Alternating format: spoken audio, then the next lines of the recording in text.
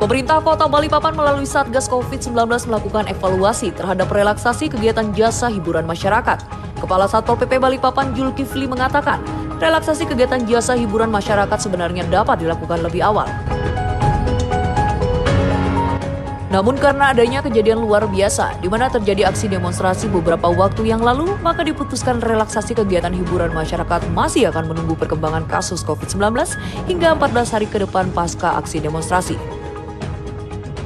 Sementara secara syarat grafik rasio penularan COVID-19 Balikpapan sudah memenuhi dengan di bawah satu sejak akhir September lalu.